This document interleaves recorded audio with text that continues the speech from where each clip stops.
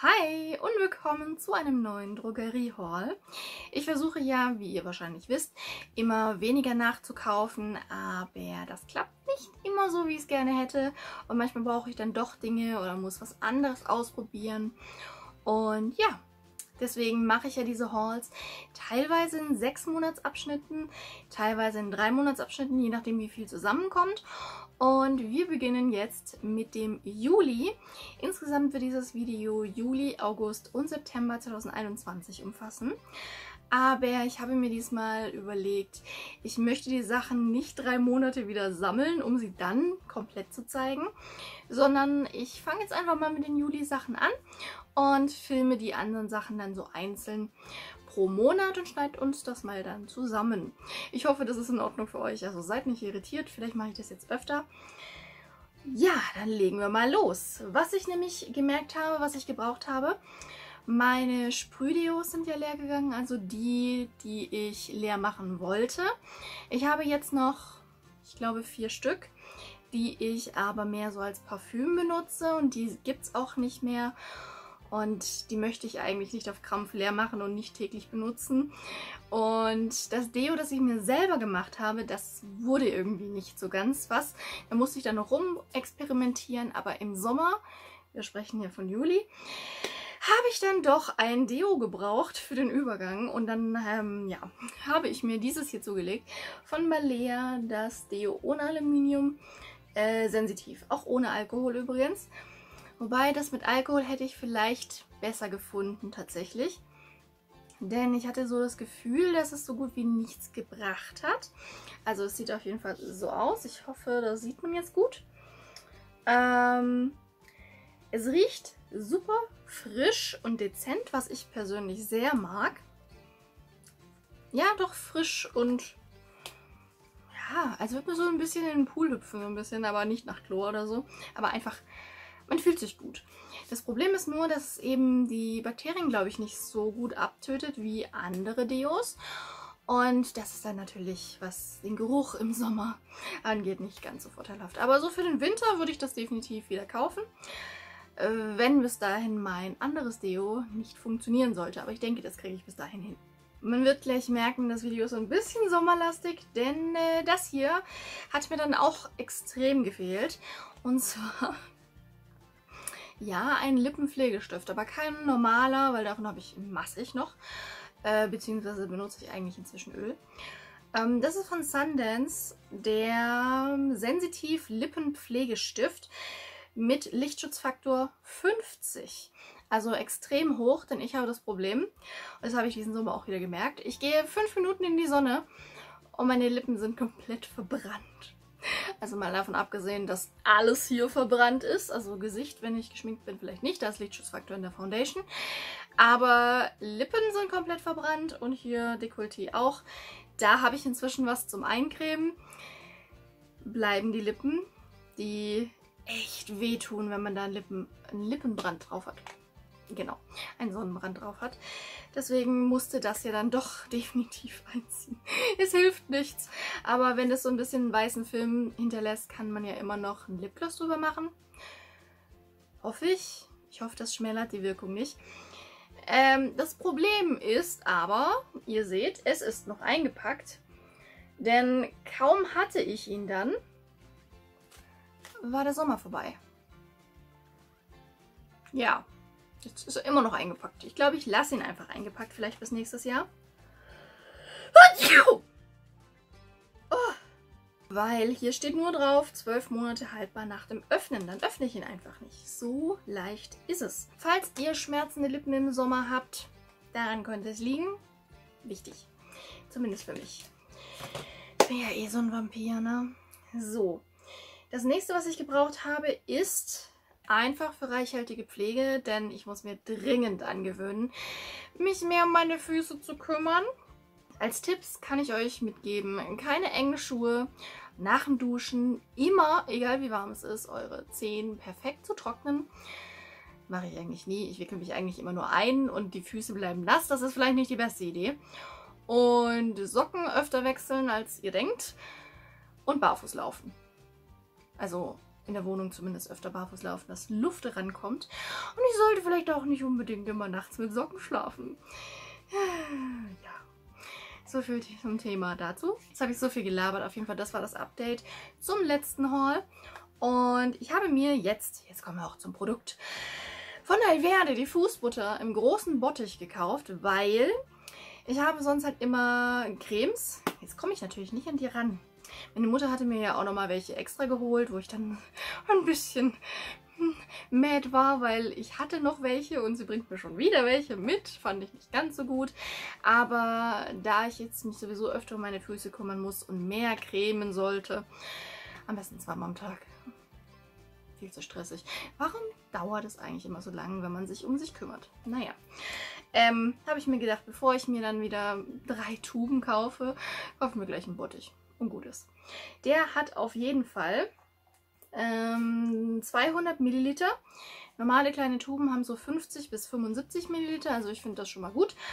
Und ich mag auch den Geruch von der, ist das eine Schrundensalbe? Ich meine schon von äh, Alverde. Und ich hoffe, dass das genauso gut riecht. Also ich habe es noch nicht geöffnet.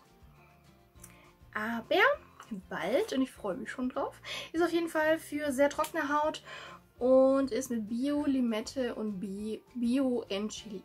Oh Gott, das kann ich nicht aussprechen. Enchinacea. Ja, kümmert euch mehr um eure Füße, okay?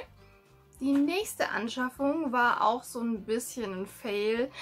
Denn ihr wisst ja vielleicht, ich bin ja gerade am Aufbrauchen meiner ganzen alten Sachen. Und mit den Shampoos bin ich ja schon sehr weit gekommen. Und ich dachte mir, ich besorge mir mal ein festes Shampoo. Und habe mir von Alverde Shampoo geholt. Das ist aber ein bisschen zu intensiv für mich, tatsächlich, zumindest um es lang äh, anzuwenden. Und ich dachte mir, ja gut, da muss ich vielleicht mal abwechseln, beziehungsweise nach einem anderen gucken. Das heißt, anstatt jetzt einfach ein festes Shampoo zu haben, habe ich jetzt zwei. Ich habe mir gekauft von Foamy das feste Shampoo für trockenes und widerspenstiges Haar mit Arganöl. Denn ich habe festgestellt, das andere ist dann doch ein bisschen austrocknend, beziehungsweise noch nicht mal austrocknend. Also meiner Kopfhaut geht es relativ gut. Und ich habe ja auch sehr dünne Haare und leichte Haare. Also so gesehen ist es ganz gut fürs Volumen. Aber dadurch, dass ich eben leichte und dünne Haare habe, ist es vielleicht doch ein bisschen zu krass. Deswegen dachte ich mir, ich wechsle das dann vielleicht ein bisschen ab. Mal gucken. Und genau, das ist 100% plastikfrei. Das ist hoffentlich wirklich nicht eingepackt, sonst bin ich ein bisschen sauer. Ähm, genau, dem geht's gut. Sieht so aus. Es hängt sogar an einer Schnur, hätte ich jetzt was gesagt. Wie heißt denn das? Bei uns heißt das Bändel und es riecht unheimlich gut. Ja, sieht auf jeden Fall so aus. Ich habe auch gar kein Problem mit dem Aufschäumen von festem Shampoo. Ich dachte mir, das wäre super schwierig. Ist es aber gar nicht. Also weiß ich, das ist so schnell. Huch, Moment, ich muss mich kurz konzentrieren. Es ist so einfach wie beim Händewaschen mit einer festen Seife.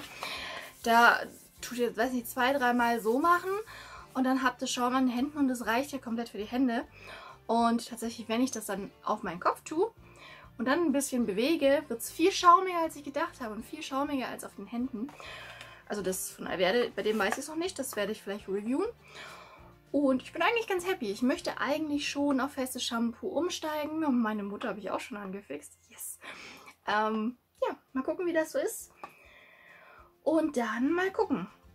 Ähm, was ich noch sagen wollte, äh, wir haben noch geguckt, ob das irgendwie zu Garnier oder zu Schwarzkopf oder so gehört.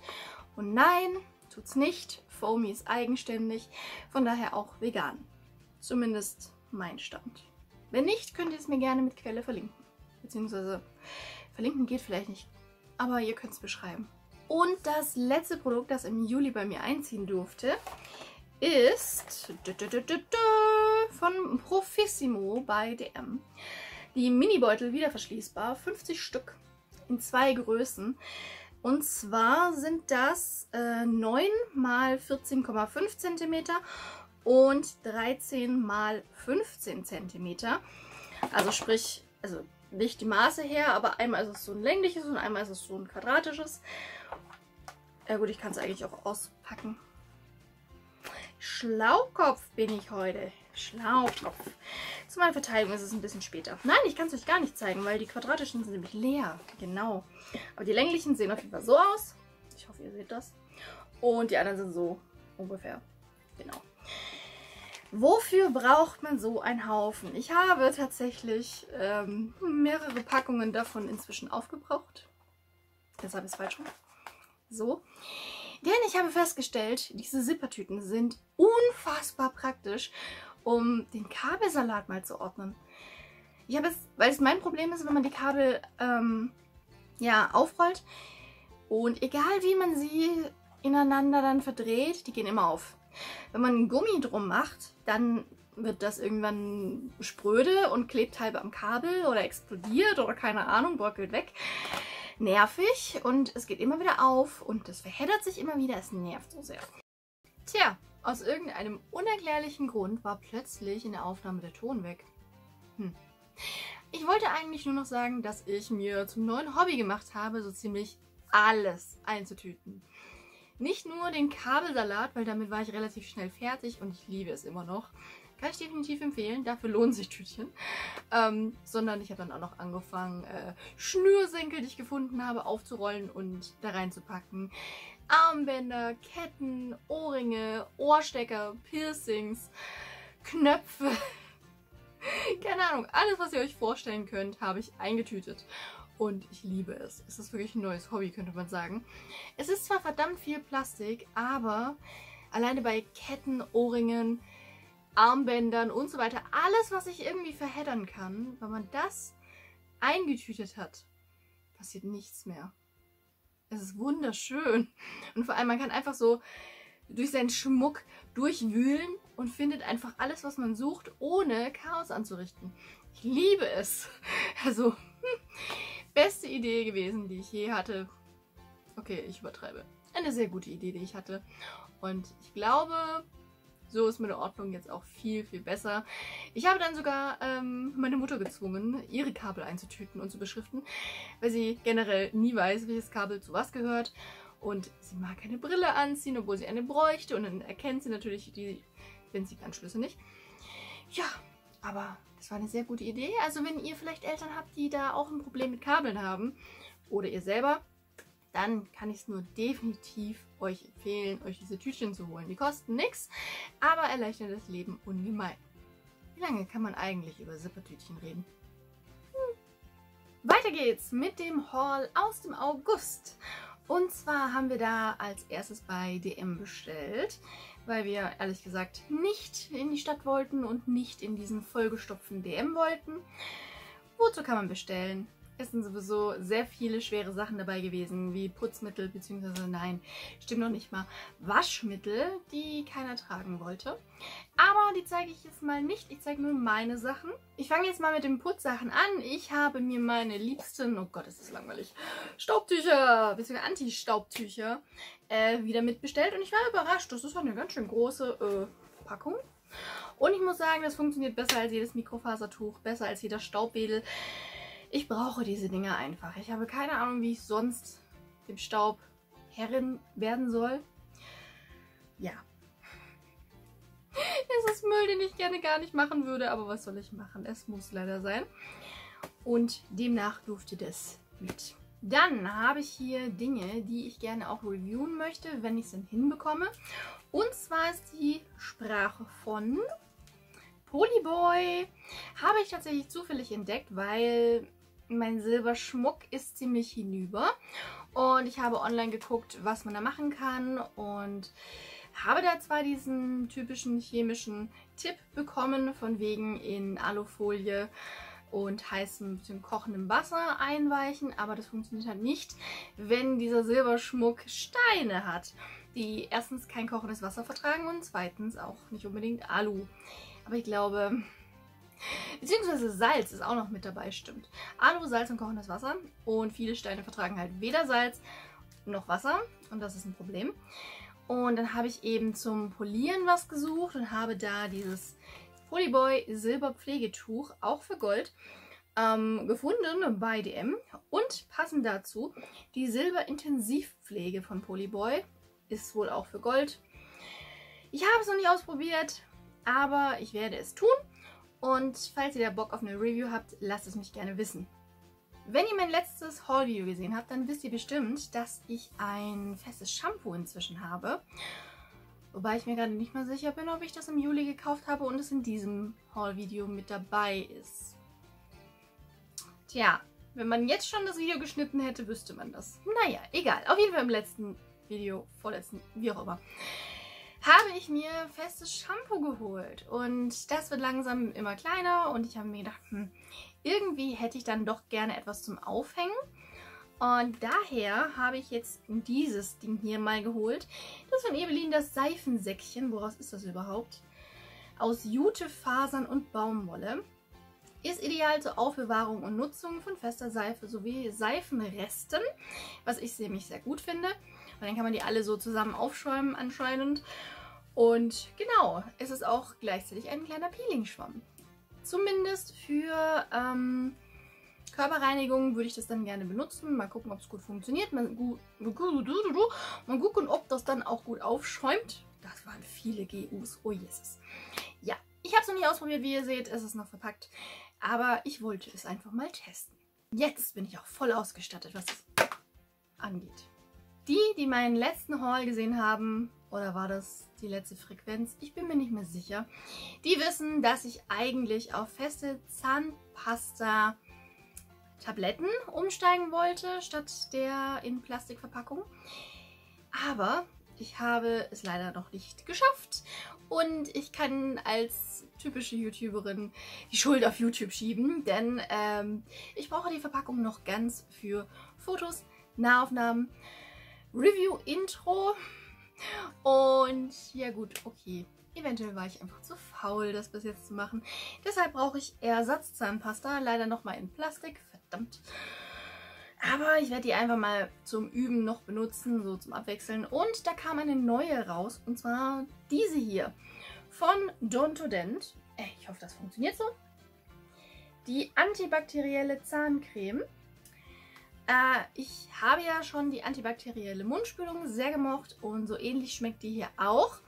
Man könnte es auch mit dem Kaugummi von Orbit vergleichen, also so Sperrminze. Ähm, ist nicht besonders scharf, schäumt schon ganz schön krass, muss ich sagen. Und ich bin mir noch nicht so ganz sicher, ob ich sie sehr mag oder ob es okay ist und so. Mal schauen, mal schauen. Äh, vegan ist sie, glaube ich, auch. Ja, sie ist vegan. Ist ganz neu, vielleicht habt ihr sie noch nicht gesehen, vielleicht möchtet ihr sie ausprobieren, ich weiß es nicht. Hier ist sie auf jeden Fall. Und die letzten zwei Sachen von meinem DM-Haul waren, ja, ein Erliegen. Einmal etwas mit sehr, sehr viel Müll. Ist zwar kontraproduktiv, aber leider brauche ich es und ich liebe es. Ihr kennt sie wahrscheinlich schon. Die Valea Antipickel Patches mit Salicylsäure. Wobei ich mich inzwischen frage, wie viel Salicylsäure da überhaupt drin ist. Also wie viel Prozent. Denn ich habe von meinem Hautarzt eine Creme bekommen mit 2% Vaseline. 2% Salicylsäure in Vaseline. Genau, meine Mutter hat nämlich eine Creme mit 4%. So viel darf aber außerhalb der Apotheke gar nicht äh, verkauft werden. Deswegen kann da eigentlich nur weniger drin sein. Nichtsdestotrotz hilft es mir, denn gerade wenn Pickel, die ich leider habe, hallo Akne-Patientin, ähm, sehr anschwellen, neige ich dazu, immer dran rumzuspielen. Und womöglich dann eben noch dran rumzudrücken, was man nicht tun sollte. Und gerade dieses Antatschen ist halt so kacke. Und eventuell mal drücken, aus Versehen Gedanken verloren. Mm, ja, ihr wisst, was ich meine. Jedenfalls, worauf ich hinaus wollte, das hier sind Sticker. Das heißt, wenn ich die mir ins Gesicht pappe, auf die frisch gewaschene Haut, auf den Pickel drauf, und ich komme ganz aus Versehen dann auf den Pickel, denke mir so, oh, oh, Sticker darf nicht weg. Und das funktioniert grandios. Und es kommt dann kein Dreck rein, keine Bakterien. Und ich kann mich besser zurückhalten mit dem Drücken. Alleine schon, weil meine Fingernägel ja, Fingernägel, äh, dran abrutschen. Das ist sehr, sehr gut. Deswegen, ich kann nicht darauf verzichten. Das war jetzt eine unglaublich lange Begründung dafür, dass ich mir sehr schwache Salicylsäure mit ganz viel Verpackungsmüll gekauft habe. Es musste sein, okay? Vergesst es einfach. Wir haben nichts gesehen. Okay? Und äh, etwas, was ich eigentlich schon besitze, was aber irgendwie einfach verschwunden ist. Und ich weiß nicht, wo es ist. Deswegen habe ich es mir jetzt nachgekauft. Und zwar diesen hier. Einen Nagelknipser von Ebelin. Ja, von Ebelin. Der ist eigentlich für Fußnägel, weil, ja, äh, Fingernagelscheren bzw. Knipser kommen da einfach nicht durch. Und ja, ich wollte einfach mal wieder einen. Habe eigentlich den von Scholl, der unglaublich teuer war und der ist verschwunden. Ich könnte wetten, den haben gewisse Personen geklaut. Aber ich habe natürlich keine Beweise. Ich glaube jedenfalls nicht, dass ich den jemals wiedersehen werde. Nun ja, deswegen habe ich jetzt den günstigen. Und ich muss sagen, Ebelin kann mit Scholl mithalten. Sowas von. Genauso wie bei diesen ähm, Hornhauthobeln, beziehungsweise diese, wie heißen die denn, diese elektrischen Hornhautentferner. Da finde ich tatsächlich den von Ebelin besser als den von Scholl, obwohl er, glaube ich, nur ein Viertel kostet oder die Hälfte. Genau. Und so ähnlich ist es bei dieser schönen Schere, wollte ich sagen, bei diesem schönen Nagelknipser genauso. Ich habe den in schwarz. Meine Mutter hat jetzt auch einen in lila. Ich bin sehr zufrieden. So, das war der bestellte Teil. Ich war dann aber nochmal beim DM, weil ich etwas vergessen habe zu bestellen. Worüber ich mich sehr geärgert habe, denn es wiegt zweieinhalb Kilo. Yes, jetzt könnt ihr kurz raten, was es ist. Ihr werdet nicht drauf kommen. Ihr habt es nicht erraten. Gut, gut, gut, gut. Es ist so schwer. Anhand der Geräusche wisst ihr es vielleicht? Tata! Vogelsand! Warum brauche ich Vogelsand? Ähm, ich habe inzwischen einen neuen Hula Hoop ohne diese Massage, Massage äh, Dellen, die, die sind einfach nur Folter. Denn ich habe eigentlich einen Reifen, der aber diese Massagedinger hat. Und das tut so unglaublich weh. Ich habe solche Schmerzen, dass ich nicht damit trainieren kann. Und aus diesem Grund habe ich mir dann einen neuen gekauft, beziehungsweise ich habe einen geschenkt bekommen. Und der ist aber zu leicht, blöderweise. Aber man kann ihn füllen und zwar mit Sand. Deswegen habe ich mir Sand gekauft. Mal gucken, ob das funktioniert. Das war es jetzt aber wirklich von DM. Und jetzt kommen wir noch zur Müller Drogerie, die wahrscheinlich gerade die im Süden von euch kennen werden. Und dort habe ich mir gekauft ähm, dieses hier. Eine einfache leere Sprühflasche. Und wofür? Richtig, für Alkohol. Isopropylalkohol. Oberflächendesinfizierung. Kosmetikdesinfizierung. Yes, genau. Ich habe nämlich eine große Flasche mit Isopropylalkohol, 70 oder 90 Prozent, ich bin mir nicht sicher. Und ich kann den ja schlecht einfach so irgendwo in den Puder reinkippen. Und ich bräuchte eine Sprühflasche dafür. Ich habe aber keine und ich habe keine gefunden. Und dann ist mir beim Müller die hier über den Weg gelaufen. Endlich. Und ich kann mich jetzt dran machen, meine Kosmetik zu desinfizieren, worauf ich mich jetzt schon sehr freue. Das ist mal nötig. Beziehungsweise mein Gewissen dankt das mir dann. Und das einzig Dekorative, was ich mir tatsächlich gekauft habe, nach langer, langer, langer Zeit mal wieder ein Nagellack. Mhm, schlag mich bitte nicht. Ich weiß, dass ich zu viele habe, aber diese Farbe habe ich nicht. Und zwar, tada, von Essence. Wie heißt die Reihe jetzt? Shine and Go. Shine, Last and Go. Man weiß es nicht so genau. Ähm, die Nummer 45, Creating Memories. Ich hoffe, ich kann euch das jetzt irgendwie hier so zeigen. So. Ein wunder, wunderschöner Lack auf jeden Fall in Twitch Lila. Und ich habe ihn auch zusammen mit meiner Freundin gekauft, nachdem wir uns ewig lang nicht gesehen hatten. Und im Grunde der Namensprogramm, die Memories, habe ich jetzt wohl damit verbunden. Von daher finde ich das auch sehr schön. Ja, jetzt habe ich halt mal wieder einen Nagellack gekauft, auch wenn ich schon viel zu viele habe. Aber ich finde, ich habe mich im Vergleich zu damals sehr gut gemacht und ich hoffe, ihr seid trotzdem stolz auf mich. Und alle, die den Müller kennen, die wissen wahrscheinlich, dass es auch eine Schreibwarenabteilung und eine Spiele, Deko, sonst was Abteilung gibt. Und in der Irgendwas-Abteilung bin ich dann daran etwas hängen geblieben, womit ich ähm, ja so meine Probleme hatte, mich zu entscheiden, ob ich es kaufen will oder nicht. Ich konnte nicht dran vorbeigehen. Ist er nicht süß? Es ist, es ist, oh. da steht schon dran, das gönne ich mir.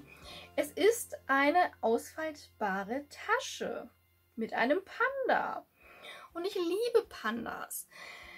Und gerade diesen Panda von dieser Reihe, den habe ich noch als Kaffeetasse.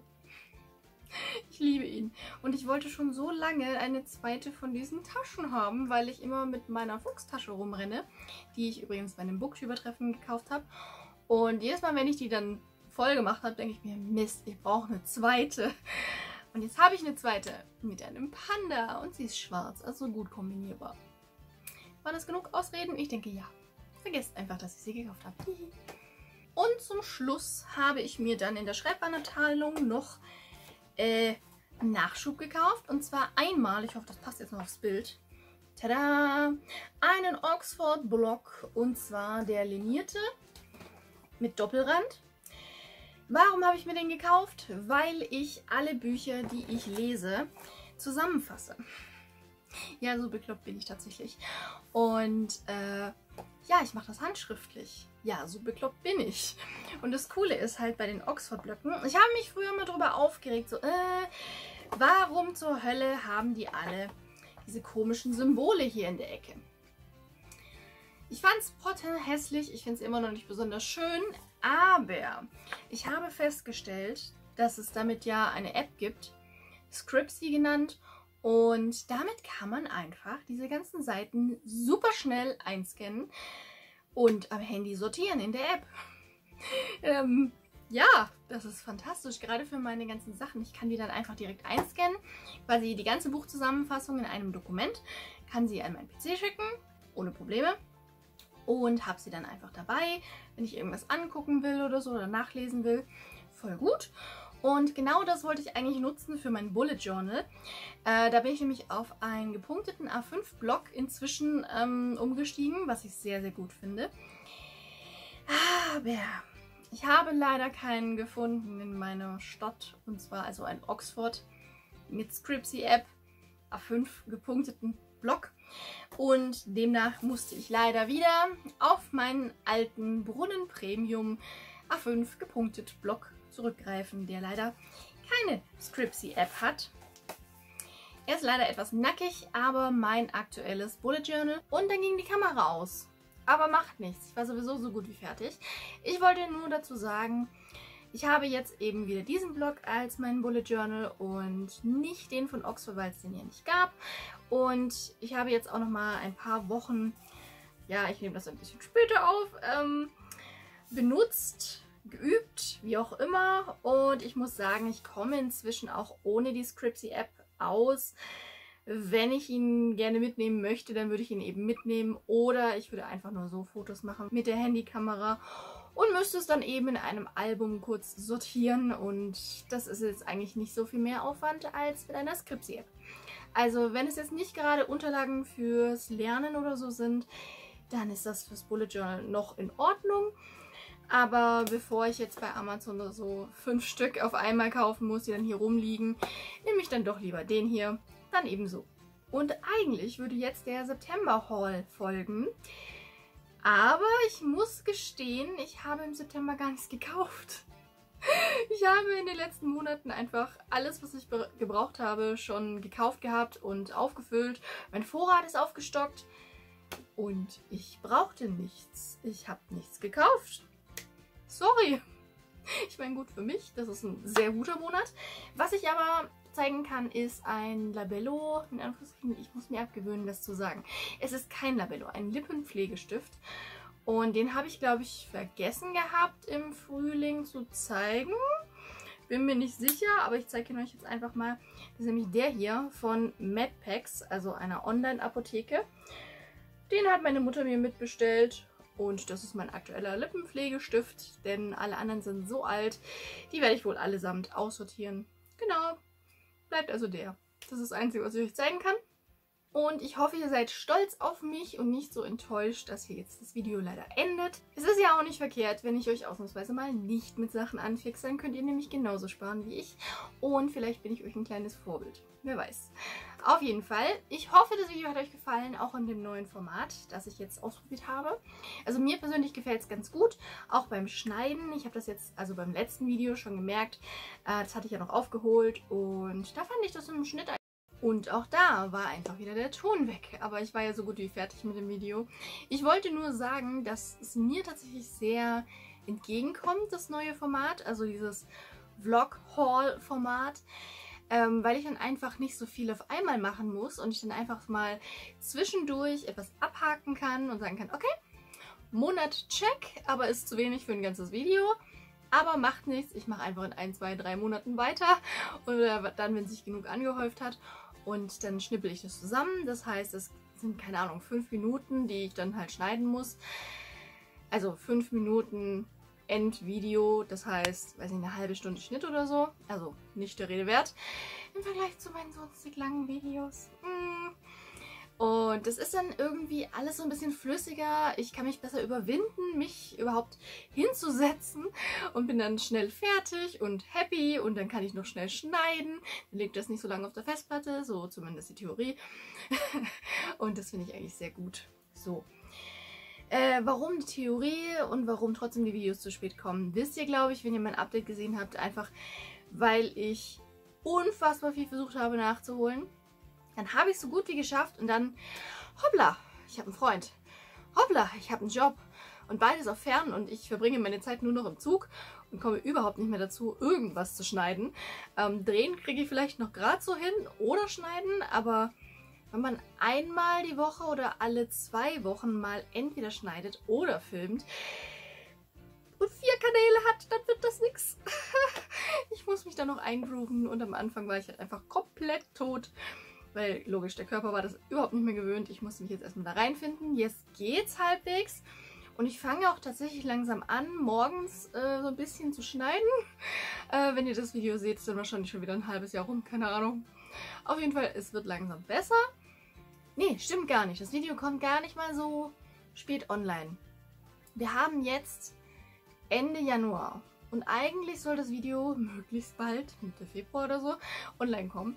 Das heißt, ich bin dabei, mich reinzugrooven, also habt noch ein bisschen Geduld, das wird wieder. Aber da ich halt sehr wenig weiterhin gekauft und aufgebraucht habe, hm, das nächste Video, wann, wann, wann ist denn das eigentlich? Wir haben gesagt, halbes Jahr. Selbst wenn ich jetzt nur ein Vierteljahr mache, dann wäre das ja erst im April für einschließlich März. Das, das, das schaffe ich aktuell zu bleiben, glaube ich. Mal gucken. Lasst euch überraschen.